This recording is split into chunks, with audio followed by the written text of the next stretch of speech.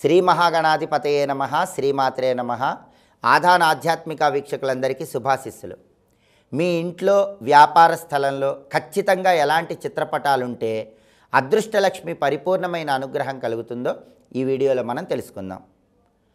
మీరు ఏ వ్యాపారం చేస్తున్నా సరే ఆ వ్యాపార స్థలంలో ఖచ్చితంగా మూడు ఫోటోలు ఏర్పాటు చేసుకోవాలి.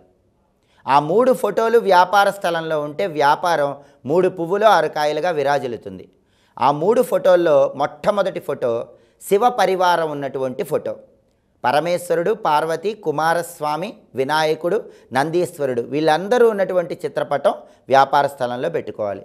రెండవది అష్టలక్ష్మి సమేత వెంకటేశ్వర స్వామి చిత్రపటం. సహజంగా అందరూ కూడా శ్రీదేవి భూదేవి సమేత వెంకటేశ్వర స్వామి చిత్రపటం ఏర్పాటు చేసుకుంటారు.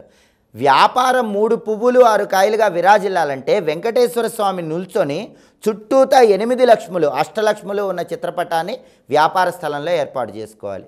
మూడోది లక్ష్మీ కుబేర చిత్రపటం.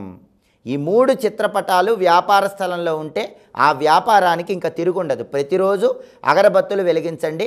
విశేషంగా వ్యాపార వృద్ధి ఏర్పడుతుంది. వ్యాపార స్థలానికి బయట మాత్రం కనుదిష్టి గణపతి ఫోటోని పెట్టుకోండి.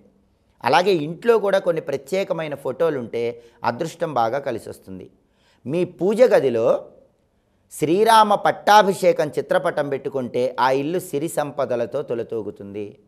పంచముఖ ఆంజనేయ స్వామి కానీ అభయాంజనేయ స్వామి చిత్రపటం కానీ ఏర్పాటు చేసుకోండి. అలాగే వెంకటేశ్వర స్వామి చిత్రపటం పూజ గదిలో ఏర్పాటు చేసుకునే వాళ్ళు లక్ష్మీ హృదయ వెంకటేశ్వర స్వామి చిత్రపటం పెట్టుకోండి. వెంకటేశ్వర స్వామి వారి హృదయంలో లక్ష్మీదేవి ఉన్నట్లుగా ఒక చిత్రపటం ఉంటుంది. ఆ చిత్రపటం పూజ గదిలో పెడితే తిరుగులేని విధంగా లక్ష్మీ కటాక్షం కలుగుతుంది. అలాగే పూజ గదిలో సరస్వతీదేవి చిత్రపటం ఏర్పాటు చేసుకోవచ్చు. అయితే కొంతమంది అయ్యప్ప స్వామి చిత్రపటం ఏర్పాటు చేస్తారు. కానీ అయ్యప్ప దీక్ష తీసుకున్నప్పుడు ఆ మండల దీక్షలోనే అయ్యప్ప స్వామి చిత్రపటం పూజ గదిలో ఉంచుకోవాలి. ఆ తర్వాత దాన్ని తీసుకెళ్ళి దగ్గరలో ఉన్న దేవాలయంలో ఉంచాలి. పూజ గదిలో నవగ్రహాల ఫోటోలు ఉండకూడదు. శనేశ్వరుడి చిత్రపటం పూజ గదిలో ఉండకూడదు. ఇలా కొన్ని ప్రత్యేకమైన చిత్రపటాలు పెట్టుకుంటే ఉత్తమ ఫలితాలు కలుగుతాయి. అలాగే ధనలక్ష్మీదేవి కుడి చేత్తో బంగారు నాణ్యాలు వర్షిస్తున్న చిత్రపటాన్ని కూడా పూజ గదిలో ఏర్పాటు చేసుకోవచ్చు. అలాగే మీ ఇంట్లో బెడ్రూమ్లో రాధాకృష్ణుల ఫోటో ఉంటే దాంపత్యం అనుకూలంగా ఉంటుంది. రాధాకృష్ణుల ఫోటో ఏ ఇంట్లో బెడ్రూమ్లో ఉంటే ఆ ఇంట్లో దంపతులకి పోట్లాటలు అనేవి రావు. అలాగే హాల్లో కూడా రెండు అద్భుతమైన చిత్రపటాలు ఉంటే చాలా మంచిది. శ్రీనివాస కళ్యాణం చిత్రపటం హాల్లో పెట్టుకున్న వాళ్ళ ఇంట్లో సుఖ సంతోషాలకి భోగభాగ్యాలకి లోటు ఉండదని సంప్రదాయంలో చెప్పారు. శ్రీనివాసుడు పద్మావతీ దేవిని వివాహం చేసుకుంటున్నటువంటి శ్రీనివాస కళ్యాణం చిత్రపటం హాల్లో పెట్టుకోవాలి. అలాగే శివ కళ్యాణం చిత్రపటాన్ని హాల్లో పెట్టుకున్నా కూడా అద్భుతమైనటువంటి ప్రయోజనాలు చేకూడతాయి అలాగే మీరు ఒక పని అనుకున్నప్పుడు ఆ పని ఖచ్చితంగా సకాలంలో పూర్తి కావాలంటే కృష్ణార్జునులు యుద్ధానికి వెళ్తున్నటువంటి చిత్రపటాన్ని హాల్లో ఏర్పాటు చేసుకోవాలి.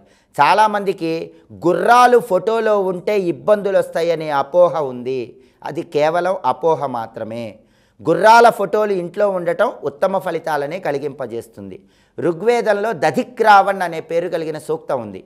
ఈ సూక్తం మొత్తం కూడా అశ్వేల గొప్పతనాన్ని చెప్తుంది. హయగ్రీవుడు గుర్రంతల ఆకారంలో ఉంటాడు. అశ్వలక్ష్మి అనే పేరుతో హయగ్రీవుడి భార్య గుర్రంతల ఆకారాన్ని కలిగి ఉంటుంది. ఈ విషయాన్ని సనత్కుమార సంహితలో చెప్పారు. కాబట్టి గుర్రం అనేది అష్టైశ్వర్యాలకి సంకేతం.